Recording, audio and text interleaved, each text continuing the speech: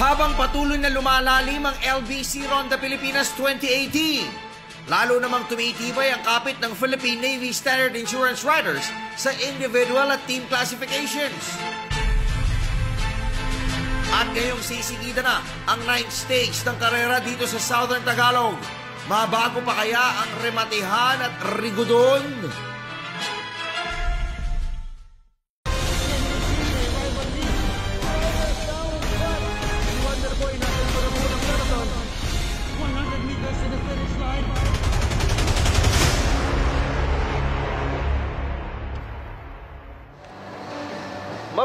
Luzon, Visayas, Mindanao, Mega Manila at World.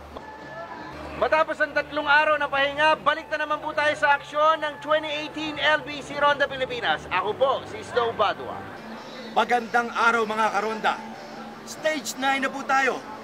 Ito na po ang pinakamahirap at pinakamakaaksyon ruta ng ating karera. Ahon, Lusong, Ahon, 207 kilometers. Magmumula dito sa Silang Cavite, dadaan sa Batangas at magtatapos sa Tagaytay City. Ako po, si DJ Bobby Udulio. At ano pa ang ating inintay? Tutukan ang stage number 9, LBC Ronda Pilipinas 2018.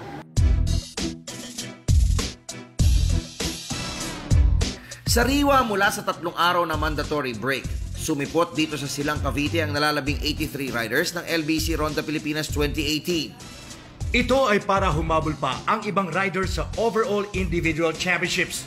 Habang pakay naman ng teams na kumagat pa na kaunting oras sa dominanteng Philippine Navy sa huling apat na stages ng karera.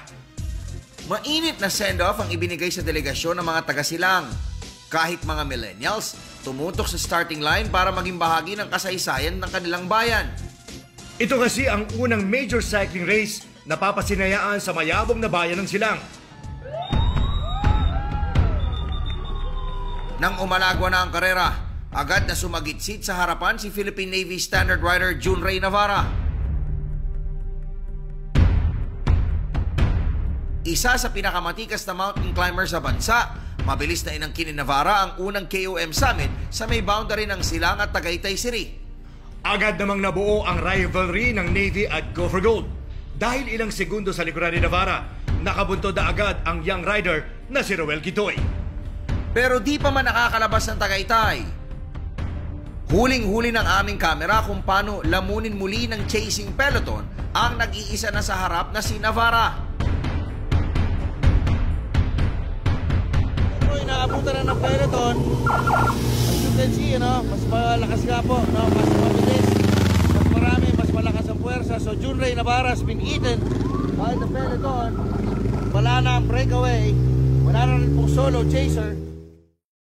Nanatiling buo ang race column hanggang sa pumasok ang Margondon Climb.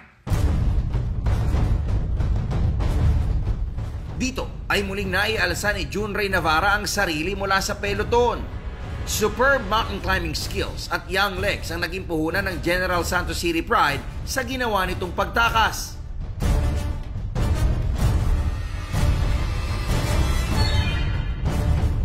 Sa likuran ni Navarra ay may walong riders ang pilit na humahabol. Ito ay sina Erlanger Orsino na Ilocos Sur, Go for Gold Developmental Team Bets na sina Roel Kitoy at Jay Lampawo, Leonardo Valdez Jr., Go for Gold Elite George Ohoner, Bicycology Philippine Army Stars Chris Hoven, Alvin Binosa at Alfie Catalan. Pero pamaya-maya lang, mas lumakas ang puwersa ng Chase Group. John Paul Morales, nag-bolt in na po sa ating second group na kung saan na nandiyan po ang ating fourth overall Chris Oben, second overall na si uh, Jay Lampawag. Kasama po rito si John Mark Kamingaw. At ito pong red jersey Ronald Oranza. And John Paul Morales, second overall. Sumama na po sa grupo.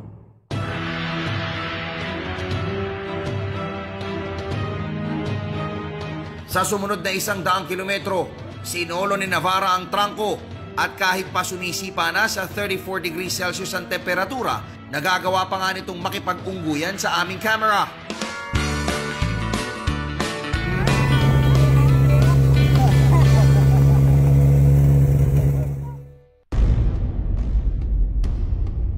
Nakolekta na ni Junay Navarra ang tatlong KOM summit points ng Stage 9. at papasok sa final and most dreaded ascent to Tagaytay na sungay sa Talisay, Batangas, manatili kaya sa harapan ang Young Mindanaoan? Tutukan sa pagbabalik ng Ronda Pilipinas Full Recap!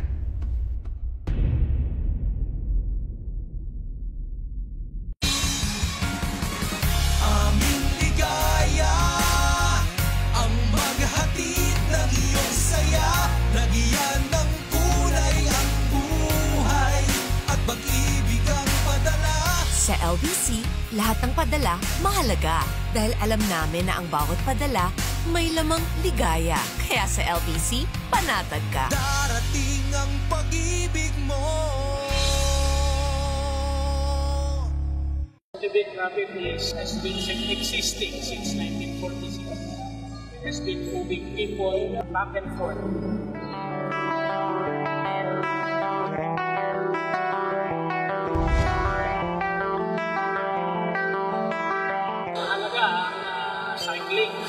Sa Tarlac.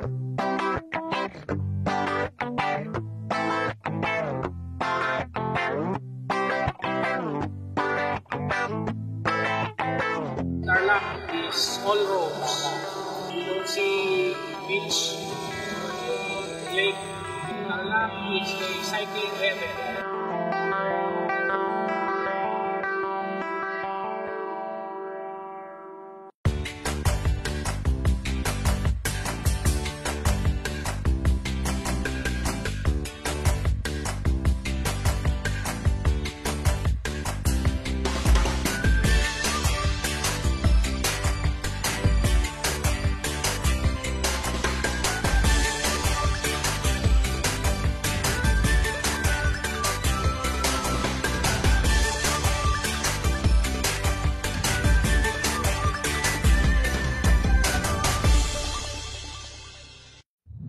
2018 LBC Ronda Pilipinas is brought to you by LBC.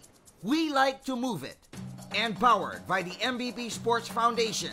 Together with Petron, CCN, Versa.ph, Maynilad, NLEX, Esitex, Boy Canin, 3Q Sports Event and Management, Franja Wine, Bike Extreme, Gerciotti, SH Plus, Standard Insurance, Green Planet, ProLife, Black Mamba, Tagaytay International Convention, Lightwater, LBC Foundation, and Phil Cycling.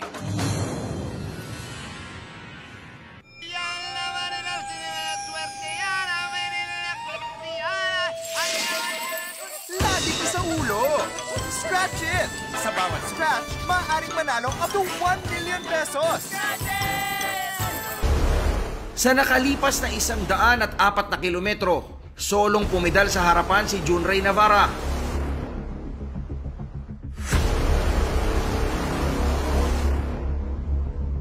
Pero dahil sa matinding sikat ng araw at malakas na hangin sa Lian, Batangas, napagal at tumigil na halos sa pagpidal ang 25-year-old pedal pusher.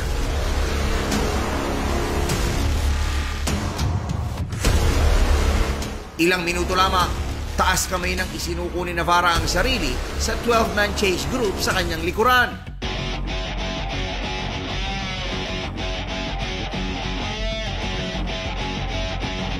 Nasa 15 riders naman na bumubuo sa chase group. Laman nito ay ang nagwawalang riders ng Go for Gold.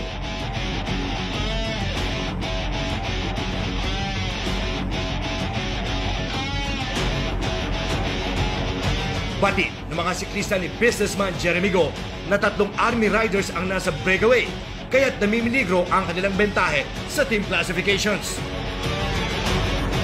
Nanatili na lamang sa harapan ang 13-man breakaway sa sumunod na 30 kilometro. Pero pagpasok ng Laurel, Batangas, dito nakatakas sina John Paul Morales at Ronald Duranza habang natali naman kina Navy Riders Jun Ray Navarra at John Mark Camingaw si Go for Gold Elite Star George Oconer. At sa sumunod pang 30 kilometro, nagtulungan na lamang ang dalawa sa trangko papanig sa matinding akyatin ng sungay. Sino mahabol? Alamin natin. Si John Soconer daw mahabol. John Soconer ang umahabol. 1 minute and 17 seconds. Tignan natin. Kaya ba kaya ito? Alright, here we go. Final 1.3 kilometers to the finish line. John Paul Morales and Ronald Oranza. So it's uh, ang, uh, ang uh, linya po ng ating karera ay John Paul Morales, Ronald Uranza, and 1 minute and 17 seconds behind si George Sucuner. Morales, now two the minutes going. Ronald Uranza, bumaba sa kanila natin ito mga kaibigan. Bilis sa dalawang daang metro. Order 120, kaya 1 minute Uranza. And John Paul Morales, Uranza, please, please, wala po po bakit na ito. It's John Paul Morales. We stay Sucuner.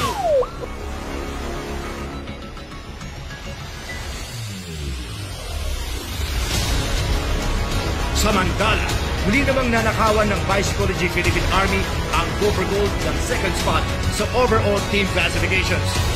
Sa pagtapos ng sabay-sabay sa third group ni na Chris Alvin Vinosa at Alvin Catalan, naungusan muli sa critical stage ng karera ng Army ang Gopher Gold. Hindi pa tapos ang boxing dahil bukas ay itinakda ang isa na namang paniki ng Tagaytay Kupalaka Batangas Stage 10. Dito muling masusubok ang tikas ng mga siklista at team sa ahuling bahagi ng Batangas at Cavite. Muli ay bibigyan namin kayo ng comprehensive live stream coverage at full recap feature at ito ay sa kabutihang loob ng Nickel Asia, PCSO Scratched Gopher Gold, NLEX at Francia Wine. Ang LBC Ronda Pilipinas ay ang pinakamalaking cycling race sa bansa at ito ay hatid sa atin ng LBC.